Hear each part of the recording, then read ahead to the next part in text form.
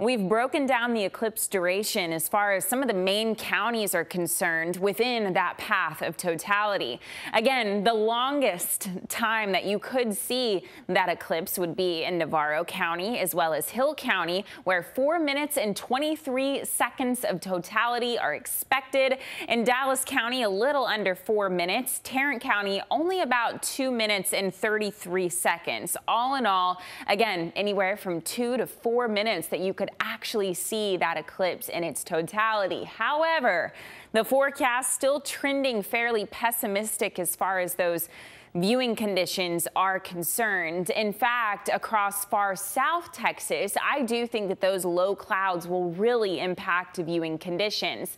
But just how fast those low clouds surge from the south to the north, that still remains in question for the DFW Metroplex. I do think that areas to the north and west of Dallas will have slightly better viewing conditions.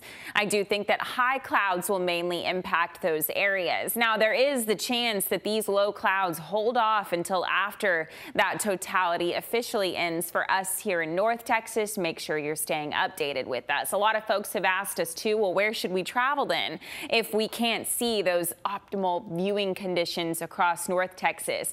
Can head on up to Arkansas, head on up to Missouri, where sunshine is expected. But what difference do high clouds versus low clouds actually make? We've put together this graphic graphic to show you how those clouds would impact the eclipse.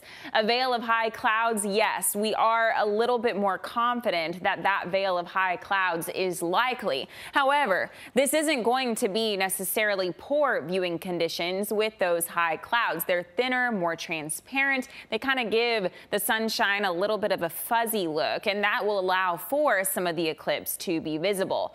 If those low clouds arrive before totality, before about 140-ish in the afternoon on Monday. Yeah, that will really prevent those viewing conditions, optimal viewing conditions across North Texas. When do those low clouds move in? Yeah, we'll continue to nail down that forecast, but probably won't know timing wise until about 24 hours out from the eclipse.